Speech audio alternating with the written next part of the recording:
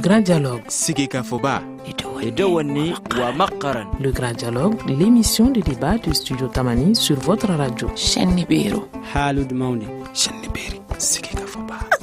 Le grand dialogue. Le grand dialogue. Mesdames, Messieurs, bonsoir. Euh, merci de nous recevoir chez vous. Très heureux de vous retrouver ici au Studio Tamani. Studio Tamani qui débat aujourd'hui, qui, essaie de réfléchir sur les chances aujourd'hui pour les pourparlers d'Alger 4.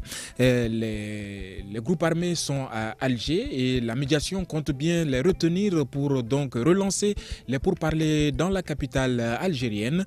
Et pour le moment, info de dernière minute, le ministre des Affaires étrangères, Abdoulaye Et, le ministre porte-parole du gouvernement, Shogel Kokalamaïga, sont à la maison de la presse euh, actuellement pour euh, donc euh, annoncer la relance des pourparlers qui se tiendra donc à partir de demain à Alger. Et nous avons comme invité pour débattre de, cette, de ces chances pour Alger 4 Ousmane Cornio, spécialiste des questions de sécurité, et Mamadou Djouara, sociologue, et enfin un membre du GATIA, Sidi Ahmed Albaka, Albaka membre du GATIA je rappelle que nous avons fait appel aux membres du MNLA, mais sans succès pour cette invitation. Je suis Famoussa Sidibé. Salim Douara est à la technique. Nous sommes donc euh, dans les chances que Alger 4 pourrait avoir aujourd'hui. La réunion d'urgence provoquée par la MINUSMA, euh, suite donc à cette réunion provoquée par la MINUSMA, les, groupes armés sont donc euh, à Alger et la médiation compte retenir les groupes armés et la délégation malienne prend donc son envol pour Alger à partir de demain. L'annonce a été faite tout à l'heure par le ministre des Affaires étrangères, Abdoulaye Diop, et au même moment, le Conseil de sécurité des Nations Unies lance euh, l'injonction disant que euh, le cessez-le-feu euh, entamé il y a depuis le mois de mai doit être respecté. Et sur ce point, la, médiation et les Nations Unies durcissent le ton. Alors nous allons voir avec Ousmane Cornio. Ousmane Cornio, qu'est-ce que cela signifie très exactement, ce durcissement de ton? Oui, je crois que ce durcissement de ton vient après tout ce qu'a subi la MINISMA elle-même parce que la position de l'administration, c'est d'abord de se protéger et puis protéger les populations. Mais après, elle s'est rendu compte qu'elle n'arrive même pas à se, se, se sécuriser elle-même à plus forte des populations, qui fait que le cessez-le-feu lui échappe, échappe à toute sa stratégie. Donc, pour pouvoir revenir à la case de départ, c'est de faire appel au Conseil des Nations Unies pour qu'on redéfinisse les choses. Et la redéfinition des choses nécessite euh, une nouvelle réunion et une réunion demandée par la ministre elle-même mmh. à Alger et qui a précipité euh, la reprise des pourparlers de Alger mmh. Alors nous sommes un peu dans les secrets de Dieu, Mamadou Djouara. Qu'est-ce qu'on peut attendre de ce durcissement de temps euh, le, le, Conseil de sécurité qui dit que si les, les conditions de, de ce cessez-le-feu-là du 24 mai ne sont pas respectées, qu'il y aura des sanctions euh, ciblées, qu'est-ce que cela peut vouloir dire aujourd'hui? Bon, je pense que euh, il est important de dire qu'il vaut mieux tard que jamais. Nous sommes dans une situation que la MINUSMA elle-même a créée en commençant à violer les règles même de, la résolution qui justifie leur présence. La MINUSMA s'est illustrée dans le laisser-faire quand c'est le MNLA et les HCIA qui faisaient les, les débordements. Aujourd'hui, que la tendance est en train de changer et qu'on a vu les excès de ces gens qui se sont permis de s'en prendre même à l'amunissement, je pense qu'ils ont fini par se réveiller de leur sommeil comatique et je, nous espérons que cela va permettre que les choses aillent plus loin. Mmh. Hein, Peut-être aussi que derrière ça, bon, il y a quelques inquiétudes qu'on peut très bien comprendre. Nous sommes dans un processus qui, normalement, devrait tirer vers sa fin si la négociation se faisait bien et que les gens respectaient leurs engagements. L'amunissement a pour mandat de veiller à ce que cela soit. Mmh. Donc, s'ils si ils deviennent fermes finalement, nous espérons que les actes suivront les menaces mmh. et que ce soit de façon équitable et juste en respect de la loi qui a justifié leur présence ici. Mmh. Pour le moment, moi, je reste un peu dubitatif. Alors, Sidi euh, Ahmed Ag Albaka, vous êtes membre du GATIA, Imgad et Allié. Alors, qu'est-ce que cela veut dire très exactement, vous qui êtes sur le terrain et qui, qui, qui êtes en confrontation euh, parfois avec euh, les membres de la coordination?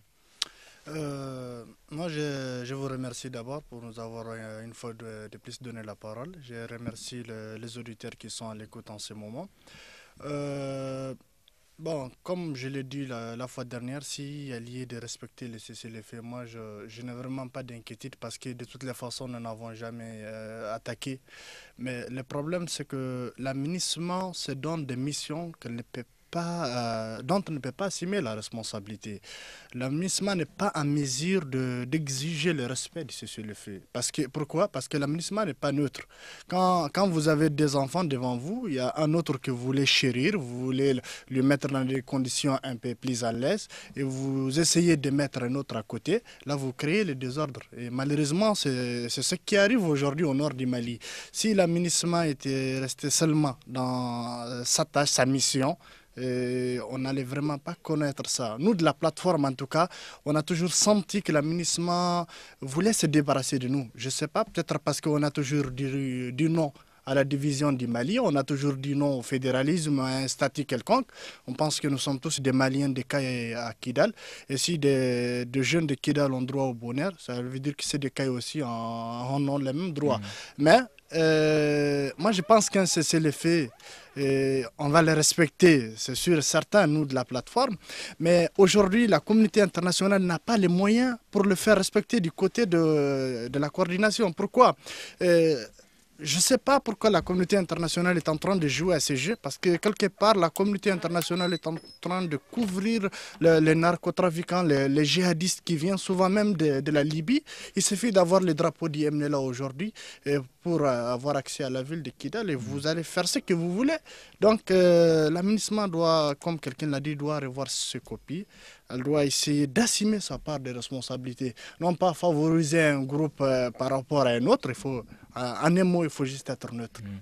Alors, euh, euh, Ousmane Cornio, il y a un mot que Sidi vient d'évoquer, du Gatien. Il dit que l'aménagement prend souvent des décisions qu'elle ne peut pas, qu'elle n'est pas en mesure d'assumer. Est-ce que vous êtes d'accord avec cette analyse? Oui, je crois que l'aménagement, elle est partie, elle est mal partie dès le départ. Parce qu'en fait, je dis que la MINUSMA se sent elle-même menacée. Elle n'a pas les moyens d'assurer sa propre protection et sa propre sécurité, à plus forte raison d'assurer la sécurité des autres. En fait, leur action par rapport euh, au MLA, au MLA, moi je ne pense pas que ce soit parti pris. C'est d'avoir peur. Avoir peur d'être attaqué parce que ceux qui les attaquent, on a peur d'eux, on essaie de les amadouiller. Bon, maintenant que la chose a éclaté, et on a mis à nu leur peur, leur impuissance, leur incapacité. On revient à la base pour essayer de voir, est-ce qu'il faut renégocier euh, un nouvel accord, de nouveaux mandats de l'aménagement, ou plutôt il faut précipiter les choses pour que l'aménagement ne soit pas pris entre les deux feux? Parce qu'aujourd'hui, l'aménagement est pris entre les deux feux.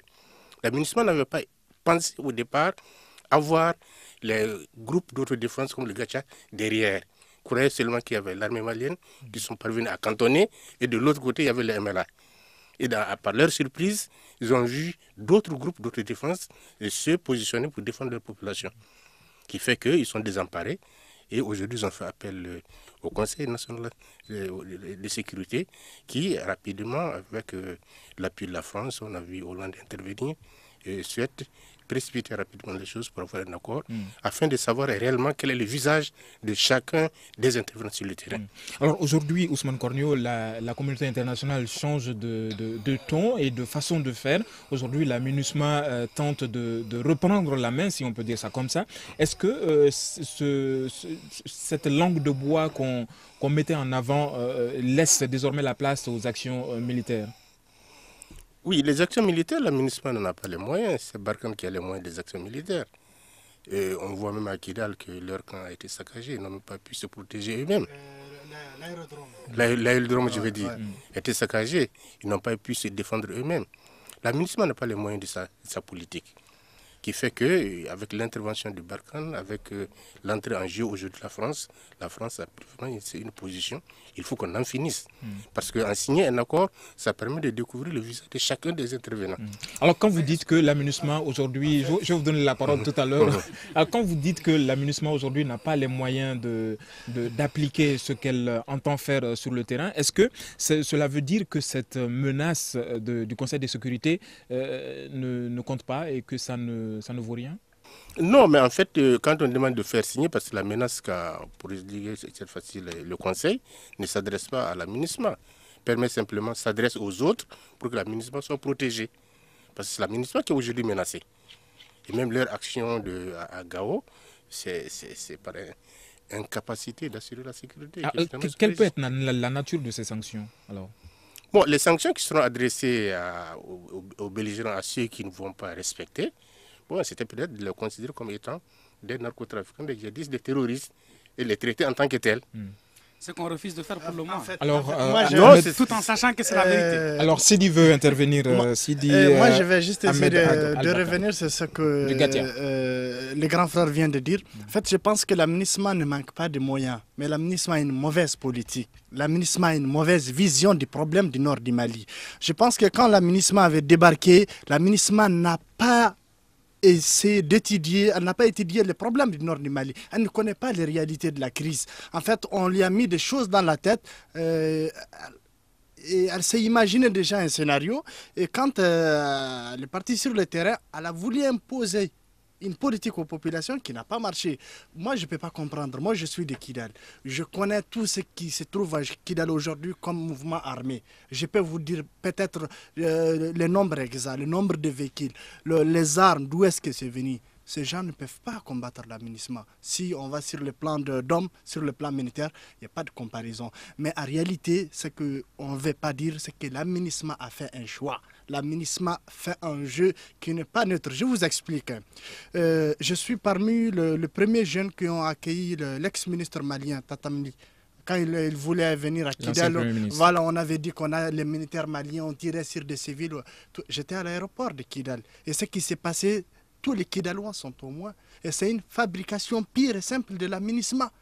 On n'a rien dit. Aujourd'hui, l'aménagement a perdu sa crédibilité. Alors aujourd'hui, malheureusement, l'aménagement n'est pas là pour défendre je vais, je vais juste terminer, je vais, Je vais juste mm. terminer quand vous dites, mm. euh, par exemple, la Kidal, ce sont de jeunes et des femmes qui ont délogé l'aménagement de l'aérodrome l'aménagement ne s'est pas défendu. Mais par contre, à Gao, Ils ont a utilisé des armes contre des civils. Pourquoi? Ceux qui sont à Kidal ne méritent pas de mourir, mais ceux qui sont à Gao doivent être tués. Point d'interrogation. La question qui se pose aujourd'hui, c'est la sécurité de Tabankort. Est-ce qu'il est possible actuellement de considérer Tabankort comme une zone tampon, Ousmane Korniou Non, mais si vous suivez, là, Tabankort, c'est sur la route de, de, Gao à, à Kidal. Almostrat, Tabancor, Adéfif, c'est une route que tu connais très bien. Bon, en fait, euh, ils avaient considéré ça comme une zone tampon parce qu'ils pensent qu'à partir de Tabancor, déjà, on a un EFIS. Et un EFIS, c'est déjà, on est dans les, dans les gérants de. Euh, MNLA. On devrait commencer avant, après même Tabancor, parce qu'il y a 10 km d'Almostrat. Et on, vous rappelle qu'à Almostrat, et là même alien, les bataillons Waraba à Almostrat, à 10 km, vous voulez placer le, le, les MNLA non, mais moi, je ne suis même pas pour. Je ne suis même pas pour On laisse Ousmane Cornéo terminer. Ousmane Cornéo va terminer et je vous donne la parole. Je dis, je ne suis même pas pour cette. cette, euh, Ce gel de, position. Non, non. Parce qu'un gel de position, ça veut dire que. Euh, on met les combattants face à face, mm. on les permet de se préparer. Pour moi, il faut aller vers le désarmement. Mm. Désarmement. Le désarmement. Alors, Donc moi, je Juste dis déjà que nous sommes dans un faux débat. Mm. Parce que l'amunissement aurait dû respecter les accords de Ouaga qui mm. disent que le MNLA doit être cantonné et que l'armée malienne devait assurer la sécurité. L'amunissement a violé ces, ces, accords de Ouagadougou, a laissé le MNLA se promener, s'armer, se préparer. Oui, mais et a laissé le MNLA attaquer. Entre-temps, il y a eu, y a eu des évolutions. Il y a eu des évolutions. Les évolutions ne sont que la conséquence mm. simple du laisser-faire de l'amunissement et de la France. Soyons, soyons francs dans le débat. C'est-à-dire que la France et l'aménagement ont pris position dès le départ. Mhm. Ils ont voulu protéger le MNLA et alliés. Ils les ont protégés. Aujourd'hui, c'est protégé sont sortis des gants. Je- Et Djouara, ils ont fait des donner- excès. Pour vous donner raison, moi je me C'est ça, rappelle la vérité. de, de cette image de la police malienne. Si elle doit Alors, patrouiller à Kidal, il faut un véhicule de l'aménagement devant, un véhicule de l'aménagement derrière. même avant ça, le jour où la France est rentrée à Kidal, le- nous avons les images rapportées par le représentant de Reuters où c'est la France qui a encadré des jeunes qu'on a pris, on les a donné le drapeau pour se balader, dire avez- MNLA, MNLA, Azawad, avez- Azawad, alors que le MNLA n'était pas à Kidal, l'Azawad n'existait pas. Vous avez beaucoup de choses à dire. Nous allons ça, observer. Nous, on a des contraintes. Nous allons observer juste deux secondes de pause. Ensuite, on redistribue la parole pour continuer cette émission. Vous écoutez Studio Tamani Votre avis nous intéresse. Écrivez vos commentaires et suggestions sur la page Facebook et dialoguez avec nous. Studio Tamani, c'est aussi les réseaux sociaux. La médiation annonce euh, le départ donc de pour parler à Alger à partir euh, de demain. Est-ce que cette date sera encore une fois respectée vu que la délégation malienne quitte euh, demain la capitale malienne pour se rendre à Alger? Nous sommes donc dans cette émission qui réfléchit sur cette question, les chances d'Alger 4 pour aboutir à une paix définitive au Mali. Et nous sommes avec trois invités, Ousmane Cornio, spécialiste des questions de sécurité, euh, Mamadou Djouara, sociologue, et, moi et Sidi Ahmed Ag Albaka, membre du GATIA. Je rappelle que nous avons tenté de joindre les membres du MNLA à cette émission et sans succès à cette émission. Alors euh, nous avons parlé des actions de la MINUSMA et des contraintes qu'elle pourrait avoir dans l'exercice donc de ces missions. Je rappelle que nous ne sommes pas là pour faire euh, le procès de la MINUSMA, mais plutôt de réfléchir sur les euh, actions et les chances euh, pour les pourparlers d'Alger 4 qui doivent normalement s'enclencher à partir de demain. Alors les raisons donc du blocage des pourparlers d'Alger, il y a les tensions dans le nord du Mali. Les groupes armés à la fois de la plateforme et de la coordination sont d'accord pour cette relance, mais encore une fois, est-ce que euh, les, acteurs pourront se réunir à Alger pour démarrer enfin cette quatrième étape d'Alger? Ousmane Cornu. Moi, je ne pense pas que encore la situation soit propice à un accord, dans la mesure où je ne pense pas si les protagonistes sont préparés. Je ne connais pas les protagonistes qui sont de l'autre côté, mais du côté de la partie malienne, à voir encore les discussions qu'il y a autour du projet d'accord. Il n'y a pas de consensus. Il n'y a aucun projet qui a été présenté par le gouvernement à son peuple pour dire que voilà ce que nous allons proposer. Ils s'en vont comme ça les bras ballants. Ils ont écouté tout le monde. Et là-bas, ils vont essayer de gérer la chose euh, au au tir à vue. C'est-à-dire sans avoir préparé. Qui fait que je ne pense pas encore que ces gens s'y sortent, sauf sous pression de la France et, et des Nations Unies, qu'on les fasse signer. Comme d'habitude, on a l'habitude de les faire signer un accord bidon, un accord Qui pas n'est- pas euh, facile à tenir. Mm. Alors, on, on- on le constate à partir des, des approches que euh, la, la médiation a tenté quelquefois de, de jouer au plus, euh, avec intelligence en retenant les, les acteurs à, à- à Alger et en faisant partir euh, à partir de demain la, la délégation malienne. Pensez-vous que les, les- les partis, les vrais acteurs sont aujourd'hui à Alger Ousmane Cornu Oui, pour la partie malienne, oui, mais je ne pense pas que pour les, les- groupes rebelles, les groupes, les groupes armés, que vraiment les tenants de la situation au nord soient sur la table de négociation. Et je pense, je l'ai dit à plusieurs reprises, que la situation la plus difficile n'est pas de signer un accord, c'est de pouvoir tenir cet accord. Surtout que ceux qui vont signer l'accord ne sont pas ceux qui sont les tenants du- de la situation sur le terrain. Ceux qui attaquent, ceux qui font, attaquent les véhicules, qui attaquent les marchés, ceux qui attaquent les, les, les- les- différentes euh, circonscriptions du Nord. Je ne pense pas que ce soit euh, ceux qui sont en train de négocier au Nord. Et qui fait que la seule, le seul avantage qu'on peut avoir quand on va signer, c'est de pouvoir découvrir le vrai visage des acteurs. Parce qu'on va se rendre compte qu'on a signé, mais malgré tout, les attaques continuent. Donc, on n'a pas signé avec les vrais acteurs. Alors aujourd'hui, on parle d'une réunion d'urgence à Alger. Euh, la médiation parle de, réunion d'urgence et euh, entend enclencher les, actions d'Alger 4 les pourparlers euh, proprement dit, qui vont donc s'engager demain. Mamadou Diouara, vous êtes sociologue. Aujourd'hui, on a vu à chaque étape d'Alger, il y a les membres des groupes armés qui demandent à ce que les délégations, toutes les délégations soient soit euh, présente avant d'entamer quoi que ce soit. Est-ce que vous pensez que ceux qui sont à Alger aujourd'hui et qui sont en train d'être consultés par la médiation sont les vrais acteurs et pourront parler au nom des groupes armés? Alors, premièrement, ce que je dis, c'est que nous sommes en train d'aller à une échéance suranticipée. Ça, c'est conséquence. Parce que même ceux qui sont là ne sont pas préparés pour être là. Alors que pour aller dans une négociation, il faut avoir un cahier de charge et il faut avoir des points de flexibilité prédéfinis de toutes les parties. Pour le moment, ce n'est pas le cas. Donc, ce qui fait qu'on risque, comme l'a dit Ousmane Cornéo, je le rejoins, de sortir avec un document un peu en queue de poisson.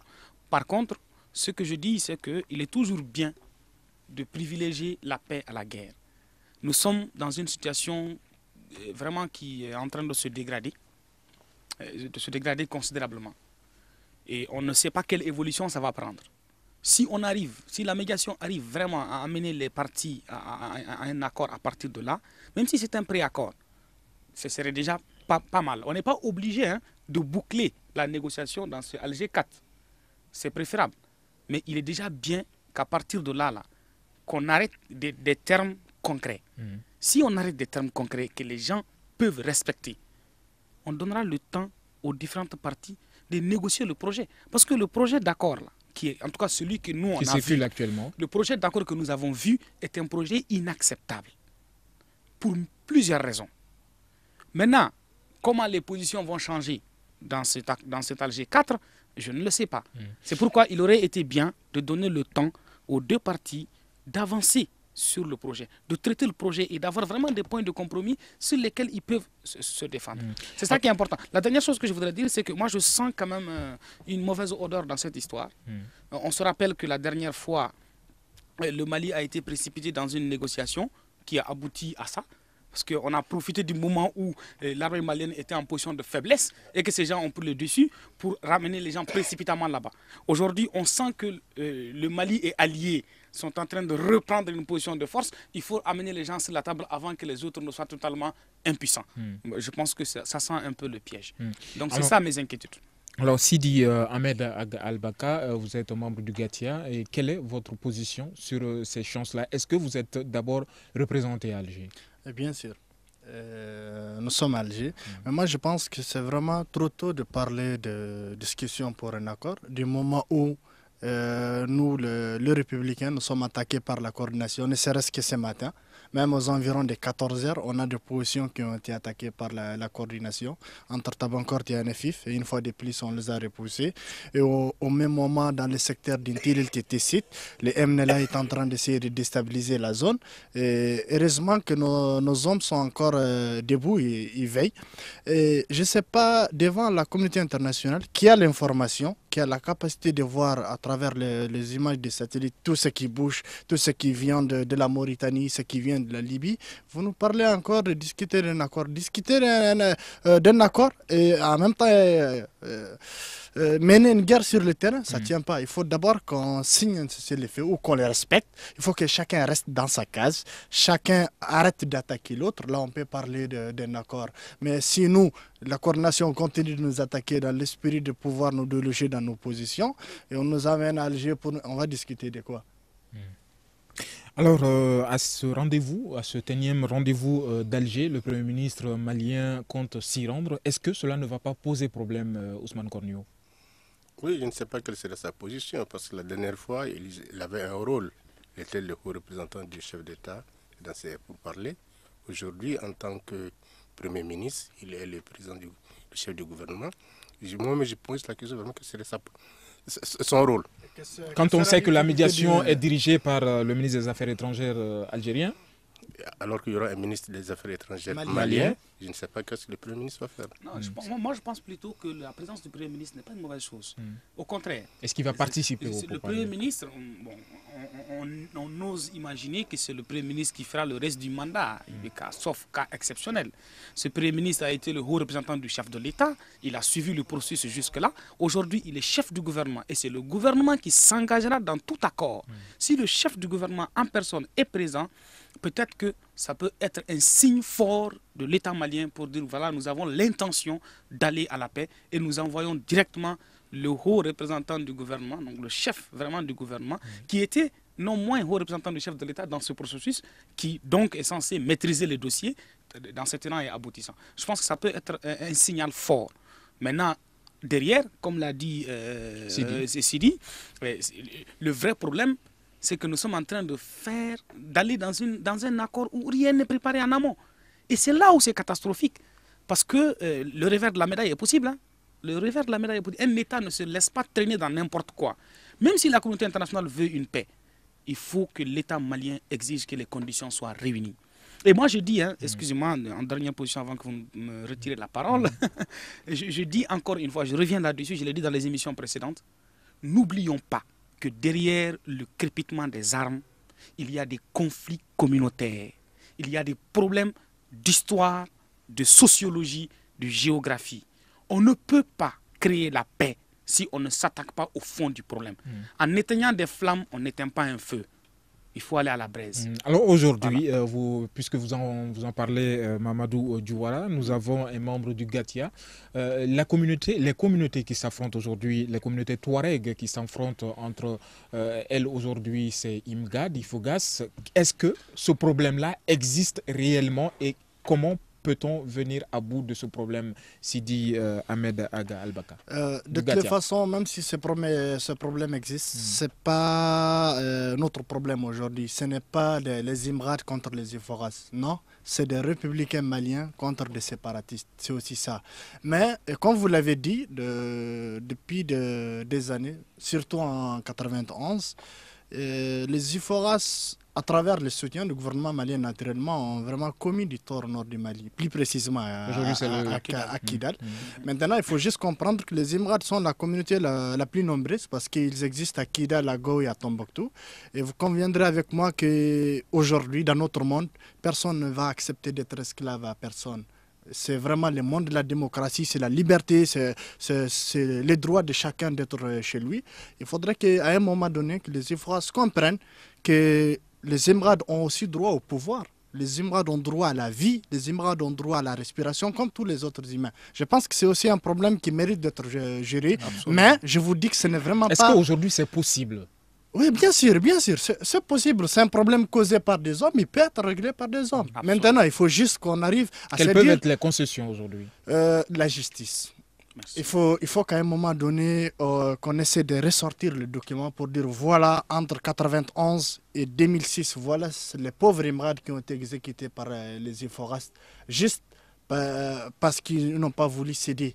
Et voilà ce que les Émirats ont fait. On, on passe souvent devant un juge ou bien on se pardonne, mais en tout cas, il faut que ces crimes, on, on les dise haut et fort et que les orphelins qui sont en train de tourner aujourd'hui à Kidal acceptent de, de pardonner. Sans ça, moi, je ne je pense pas que c'est pas possible. Moi qui vous parle, je, je fais partie de ces orphelins et je pense pas que je peux aussi pardonner facilement. Alors, on parle Et- de justice. je- euh, voulais- euh, tu- Je voulais juste, ajouter un mot, juste quelque juste- chose à ce qu'il a dit. Non, juste pour compléter, c'est important. Mamadou Djouara, nous allons pratiquement aller en pause et je vais donner euh, la parole à Ousmane. D'accord. Ousmane Kornio, vous maîtrisez cette question de, de conflit euh, intercommunautaire. Aujourd'hui, on parle de, de ce conflit entre deux communautés Touareg du Nord. Est-ce qu'avec la justice, on peut euh, venir à bout de cette euh, difficulté? Bon, moi, je crois que la justice en matière de gestion des conflits, la justice est le dernier rempart, surtout d'une, de conflits intercommunautaires. Le premier, c'est d'abord la vérité. Qu'on sache la vérité, la vérité des faits, la vérité des actes, la vérité des victimes. Et ensuite, qu'on essaie de penser à la, la réparation. La réparation, la réparation de cœur, c'est-à-dire accepter, pardonner ce qui est pardonnable. La réparation matérielle, ceux qui ont perdu, ceux qui ont été victimes, essayer de voir comment les réparer. Et quand on arrive à des victimes qui ne peuvent pas pardonner, des actes qu'on ne peut pas pardonner, alors vient en dernière position la justice. Quand on commence par la justice, en matière de gestion communautaire, on n'arrivera pas. Quelle On a que vu soit des sa pays- forme. Quelle que soit sa forme. On a vu des pays qui ont complètement laissé de côté la justice. L'apartheid, quand en Afrique du Sud, on n'a jugé personne. Ils ont décidé de tout pardonner. On a vu un au Rwanda. La justice est venue en dernière position. Et il ne s'agit même pas de la justice, mais il s'agit de gachacha. C'est de la justice communautaire. Parce que quand on commence par la justice, dire écoutez, tu as raison, tu as tort, tu as tué, on doit, te, on doit te juger, on n'en finira pas. en matière de gestion communautaire. Donc qu'est-ce qu'il faut faire aujourd'hui? Maintenant, moi, ce que je suis en train de dire, j'ai dit que le Mali se trouve à une position, je l'ai dit lors d'un dernier débat, que c'est vraiment la plus pire position qu'on peut, qui peut se passer en matière de gestion d'un conflit communautaire. C'est-à-dire qu'un gouvernement soit absent du territoire, laisse les populations et que les populations soient amenées Hmm. À s'armer. à se défendre. Ça, c'est une situation qu'un pays ne doit pas accepter. Une deuxième situation, Mais c'est un fait. oui, c'est un- c'est un fait. Malheureusement, Et ce n'est pas nouveau. je dis c'est malheureusement. Et ce n'est pas nouveau. Ça ne devait pas arriver. On devait tout faire pour que ça n'arrive pas. Et, je- et ça, je crois que le pays a péché pour ça. Le gouvernement a péché pour ça. On doit tout faire pour que ça n'arrive pas. Et je crois que si le Gacha, aussi le groupe autodéfense, avait eu des solutions, ils ne prendraient pas les armes. Si le gouvernement avait pu protéger leur communauté, ils ne prendraient pas des armes. Nous Donc, allons, sur ces mots, nous allons observer quelques secondes de pause avant de partir avec la troisième et dernière partie de cette émission. Je m'excuse, Ousmane Cornio, mais nous sommes obligés d'aller en pause. Une réaction? Un avis? Un commentaire? Réagissez sur la page Facebook de Studio Tamani et restez connectés avec nous. Studio Tamani sur les réseaux sociaux pour vous faire entendre. les réseaux sociaux pour écouter cette émission ainsi que toutes nos productions du studio Tamani. Et bientôt à travers plusieurs radios en plus des 20 euh, que vous connaissez actuellement dans tout le pays. Et nous sommes donc euh, présents sur les réseaux sociaux notre page Facebook notre compte Twitter mais également notre site web www.studiotamani en un seul mot.org je rappelle qu'aujourd'hui nous parlons de ces chances que Alger 4 pourrait avoir aujourd'hui pour réunir l'ensemble des acteurs du conflit malien afin de trouver un accord définitif à la crise euh, que- qui secoue le pays. Et nous sommes à la troisième partie de cette émission, une réunion à Alger qui est donc euh, provoquée par la MINUSPA et l'ensemble des, des parties prenantes de la médiation euh, pour ce conflit à Alger. Je rappelle que la délégation malienne quitte Bamako à partir de demain. L'annonce a été faite par le ministre, les deux ministres, le ministre de la Communication, porte-parole du gouvernement et le ministre des Affaires étrangères euh, tout à l'heure, euh, si ça ne se poursuit actuellement euh, dans les locaux de la Maison de la Presse ici à Mednakroa. Nous sommes donc à la troisième partie de cette émission. Est-ce que l'option militaire euh, est évitable aujourd'hui si l'on en croit aux actions qui se passent sur le terrain. Euh, Sidi Ahmed Al- Al-Baka, vous êtes membre du GATIA et vous riez de cette euh, question. Oui, absolument. Parce que euh, non seulement que je suis du Gatia, mais j'ai eu la chance d'assister à tout ce qui s'est passé à Kida le 17 et le 21. Mais Euh, mais lors de la visite de ouais, Moussa Mara. de Moussa Mara et de l'attaque contre les camps de l'armée malienne. Et, euh, vous dites qu'est-ce que on peut ne pas utiliser les armes. Mhm. Euh, je vais vraiment être franc avec vous. Je suis vraiment désolé, mais tôt ou tard, on va les utiliser, les armes. Qui va utiliser les Le armes gouvernement malien. Et Et- et- non, non, non. Euh, ces problèmes, en fait, cachent encore d'autres réalités. Je ne vais pas me, me permettre de les dire aussi. Nous sommes là pour ça, les Euh, faits. Bon, une autre fois peut-être. mais, mais je pense qu'à un moment donné, il va falloir que le gouvernement malien euh, prenne son destin en main et s'assume. Euh, une armée, elle doit être là pour assurer la sécurité des populations et de leurs biens, sans distinction aucune. Une armée souveraine, dans un État euh, Souverain. souverain et démocrate, euh, ne peut pas être cantonnée et interdite de- de- de- de- d'assurer la sécurité dans une partie du pays. Alors, juste une parenthèse, qu'est-ce que vous faites des, des- des accords de cessez-le-feu euh, que l'armée régulière se doit de respecter aujourd'hui et le ministre de la Moi, je me Défense pose juste une question. Pourquoi, un pourquoi c'est seulement le gouvernement qui doit être euh, les bons élèves? Pourquoi c'est seulement l'armée qui ne doit pas violer les cessez-le-feu? C'est un État. Sidi. écoutez, mais euh, cet État, il perd des hommes et des femmes, il perd sa dignité. Mais Il un, perd état sa sans, un État sans la dignité n'existe absolument pas. Je suis vraiment désolé. Quand on attaque l'armée malienne, la communauté internationale condamne juste avec un papier, un communiqué, c'est fini. Mais il faut qu'il y ait des faits.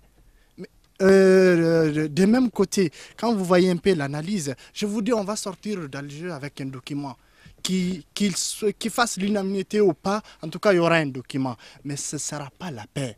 Une paix, ça s'impose. Mais ça s'impose avec les moyens.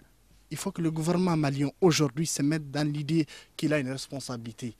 Il a une mission à assurer. Et cette mission, tant que les élèves de Tinzawaten ne vont pas à l'école, matin et soir avec les drapeaux du Mali, le gouvernement malien a failli à sa mission. Hmm. Alors, euh, Mamadou Djouara, vous êtes euh, sociologue. Euh, on parle de la façon d'éviter les actions militaires sur le terrain. Est-ce qu'une intervention militaire de quelque bord que ce soit est envisageable aujourd'hui pour parvenir à un accord? Moi, je pense que si nous voulons un accord réel qui nous conduise à une paix, parce que la finalité, c'est la paix, l'accord, c'est pour nous y conduire. Si nous voulons ça, il faut que l'État existe. Et pour que l'État existe, il faudrait que l'État applique la force. je reviens, il en a les moyens. Je reviens avec cette parenthèse que j'ai évoquée tout à l'heure. Est-ce que l'armée régulière peut s'engager de la même façon que les groupes armés, à savoir que l'État est signataire de, plusieurs conventions? Est-ce que ce cessez-le-feu-là peut être violé par les, les forces armées maliennes? L'armée malienne n'a pas eu besoin de violer un cessez-le-feu qui a été déjà violé par l'autre partie en l'attaquant quand le Premier ministre, chef du gouvernement est parti, en venant attaquer, parce que les, les, les, MNLA devaient rester dans ces positions. Mais aujourd'hui, les MNLA ont attaqué et ils ont voulu venir à, Gao. Je vous donne une information. Euh, au lendemain du dernier, de la dernière rencontre d'Alger, j'ai une vidéo enregistrée dans laquelle Al-Gabas Agntala réunit la jeunesse de Kidal. Je l'ai aussi. Il, il dit, je, je, parle sous votre contrôle, il dit que tous les jeunes qui sont en âge aujourd'hui de se battre doivent se mobiliser pour faire la guerre à leur seul ennemi d'hier et d'aujourd'hui, le Mali. Je ne déforme aucun propos. Est-ce que vous voyez? Donc, quelle crédibilité accorde-t-on à ces gens qui sont sur la table au nom de ces groupes armés. Et, mieux que ça, moi, moi, je me rappelle à Kidal, les MNLA a, dit, a, dit, publiquement on, va, que le... ordonner le débat. Euh, Mamadou Diouara, vous terminez avec euh, donc, vos propos. Donc, ce que je veux dire, c'est qu'aujourd'hui, il est absolument important que l'État malien redevienne l'État hmm.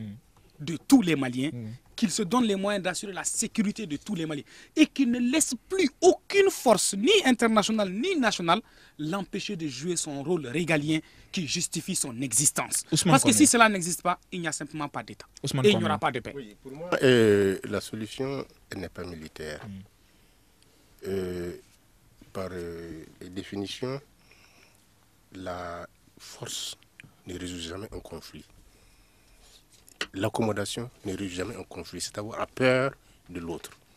Pour moi, les négociations, les pourparlers qui sont allégés, doivent parvenir à un accord tel que tous les groupes armés et le gouvernement partagent la même préoccupation, c'est de protéger les toutes populations. les populations. Ok. Et là, ce n'est pas par les armes qu'on va arriver à cet accord. Quand cet accord sera signé, on va se rendre compte que et les groupes armés et le gouvernement ont tous un seul ennemi, ce sont les terroristes, hmm. qui sont à la base de toute cette situation. Et c'est là peut-être que la force militaire peut entrer, en, jeu. entrer en jeu. Et là, et le gouvernement malien, les forces armées maliennes et tous les groupes armés pourront alors coaliser leurs forces pour essayer de lutter contre ces terroristes hmm. qui sont l'ennemi commun. Et c'est là seulement que je vois la force. Sinon, ce n'est pas par la force qu'on peut signer un accord. Un accord signé par la force mm. ne perdure jamais. Mm. Alors, une petite réaction. C'est-à-dire que le, chemin tel que vous l'avez dit est trop facile. C'est-à-dire quand vous dites les, les, groupes armés. Et si moi je vous dis que ces groupes armés, les, les islamistes que vous cherchez sont les meneurs de ces groupes armés. Bien sûr. Et je vous dis que les islamistes que vous êtes en train de chercher à Tirara et un peu partout au monde sont les responsables légitimes de ces mouvements armés. Vous allez faire comment? Oui, par la signature, la signature, j'ai dit que vous allez au départ que la signature de l'accord permettra simplement d'identifier, d'identifier et de donner un visage à chaque acteur.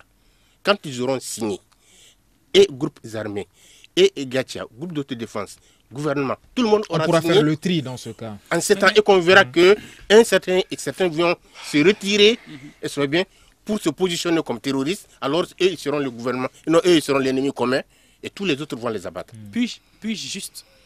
je, je, vais juste rappeler que ceux qui, ceux qui sont aujourd'hui sur la table de négociation sont les mêmes qui étaient avec Yad en Sardine, qui étaient en alliance avec ces gens. Et je vais corriger un petit aspect, euh, si vous me le permettez, avec toute la modestie qu'il faut, mm. que les, les, groupes terroristes ne sont pas initiateurs. Le MNLA est initiateur de cette rébellion dans laquelle nous sommes mm. et a entraîné les groupes terroristes dans une alliance avec eux. C'est eux ensemble qui sont venus attaquer et occuper les villes, et commettre les exactions ensemble, je dis bien ensemble, Aujourd'hui encore, ils combattent ensemble, ils sont en alliance ensemble. Aujourd'hui encore. Et Al-Gabas Agantala n'est ni plus ni moins que celui avec lequel Yada fait tout ça. Les hommes, on connaît même leur nom, on connaît leur visage, qui étaient hier dans le groupe terroriste, qui sont aujourd'hui avec eux. Et nous savons que la dernière fois, quand le, le Premier ministre a quitté là-bas, Moussa Mara a quitté là-bas, les groupes terroristes étaient présents dans le combat. Je parle, non, il n'y a rien qui soit, qui, qui soit nouveau. Par contre, je suis d'accord sur un point. Lequel? La paix ne se trouve pas seulement par les armes. Mais en abandonnant les armes, en abandonnant la force, on n'a jamais la paix. Comme on l'a dit, pour avoir la paix, il faut préparer la guerre. Pour être respecté sur la table de négociation, il faut avoir des positions sûres. Il faut être craint. Et un État se doit de se faire respecter. Si vous n'acceptez pas parce que vous le devez, vous accepterez parce que vous y êtes obligé. Mais quand l'État montre, les- la- montre qu'il n'est pas capable d'imposer ce qui est nécessaire pour la sécurité et la paix, eh bien cet État sera piétiné. C'est ce qu'on ne veut pas pour le Mali. Alors, les chances d'Alger 4, si ces chances-là sont euh, aujourd'hui euh, acquis, est-ce que euh, les- les- l'accord qui découlera de cette, euh, de, cette énième euh, rencontre d'Alger pourront être respectés par les parties SIDI Si oui, quelles sont les conditions pour Si, maintenir euh, si ces c'est un accord qui respecte l'intégrité territoriale du Mali, sa forme laïque et républicaine, euh, si c'est un accord qui garantit à tout Malien la dignité, la liberté, qu'il soit de Kidal ou de Kaï, nous n'allons pas hésiter. On va le signer, on va le respecter. Mais si c'est un accord qui prévoit une euh, euh, autonome ou un fédéralisme ou, ou quelque chose qui, qui touche à la dignité du peuple malien, soyez sûr et certain que nous n'allons pas le signer. Hmm. Alors, euh, Ousmane Cornio, aujourd'hui, on parle euh, du retour de la paix dans euh, le septentrion malien. Le MNLA est aujourd'hui présent. Le- les membres de la coordination détiennent la ville de Kidal. Comment est-ce que cette gestion du territoire va se, mettre en place? Quel sera l'accord type qu'on peut attendre pour la gestion de la situation à Kidal, du territoire?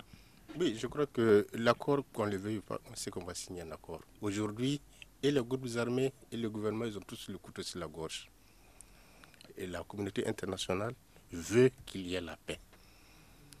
Il veut qu'il y ait la paix. Partout, le Conseil de sécurité, la France, on parle de la France, tout le monde dit qu'il faut la paix. Maintenant, cette paix qui va être signée, je crois qu'elle ne serait pas. Les accords qui vont être signés ne seront pas comme les autres accords. Il y aura peut-être un échelonnage de la mise en œuvre de cet accord. Il ne s'agit pas de dire on a signé et puis c'est fini, il y a la paix. Non. La paix, ce n'est pas pour un an encore, ce n'est pas pour deux ans encore, ce n'est pas pour trois ans encore. Elle va se faire progressivement par des étapes. Une première étape serait la signature de l'accord et l'expression de la volonté de tous les acteurs d'aller vers la paix. Alors maintenant, cette expression va être échelonnée. D'abord, qu'on se mette ensemble, qu'on se désarme, qu'on donne la primauté à l'État et qu'on fasse respecter les règles de cette paix par tous les acteurs. Alors, Est-ce qu'à l'état actuel, le- le- l'armée malienne peut revenir réoccuper Kidal? Mais aujourd'hui, là, Kidal, là, quel moyen en fait, si on avait laissé l'armée malienne libre à rentrer à Kidal, elle aurait pu prendre Kidal. Mais je ne vois pas les Mais C'est MLA. ce que les observateurs disent. Non, à moi je ne, je ne vois aucune puissance du MLA qui peut empêcher les autres Euh. groupes, les autres groupes et l'armée de rentrer à Kidal. Alors, quel est l'accord type aujourd'hui qu'il faut attendre de ces, de ces pourparlers Ouais, l'accord type, c'est qu'en fait, l'occupation du territoire ouais, l'occupation du territoire, ça veut dire que moi je dis qu'il faut désarmer. C'est-à-dire on ne peut pas signer un accord et puis dire écoutez, à chaque groupe de garder encore ses armes. ces armes Tous les groupes doivent se désarmer et la primauté reviendra alors à l'État pour superviser l'accord avec des représentants de ces groupes armés et des représentants de la communauté internationale pour la mise en œuvre échelonnée de ce processus qui sera signé d'accord parti. Alors, malheureusement, même moi, je suis surpris par le temps qui nous a été imparti, car c'est déjà la fin de cette émission. Une émission qui réfléchissait sur les chances euh, d'Alger 4. La relance des pourparlers à Alger est prévue donc pour demain. Et la délégation malienne quitte en principe Bamako demain matin pour se rendre à Alger. Je rappelle que les membres de la coordination et de la plateforme sont déjà à Alger pour, euh, à l'occasion donc de cette réunion d'urgence provoquée par la euh, suite aux attaques et aux tensions qui existent actuellement au nord du Mali, notamment à Tabankort. C'est donc la fin de cette émission, une émission qui regroupait autour de cette stable trois invités, Ousmane Cornio, spécialiste des questions de sécurité, Mamadou Djouara, euh, sociologue et également un membre du GATIA. Malheureusement, nous n'avons pas pu joindre les membres du MNLA pour participer à cette émission. Le membre du, euh, GATIA est donc Sidi Ahmed Aga Albaka, euh, membre du GATIA, qui était donc dans ce studio avec nous. Je suis Famoussa Sidibé. Salim Djouara était à la technique, Ousmane Diadje Touré a réalisé cette émission. Nous Diré était à la régie vidéo. Nous vous disons à demain pour un autre débat. Le grand dialogue. Le grand dialogue, l'émission de débat du studio Tamani sur votre radio. Le grand dialogue. Le grand dialogue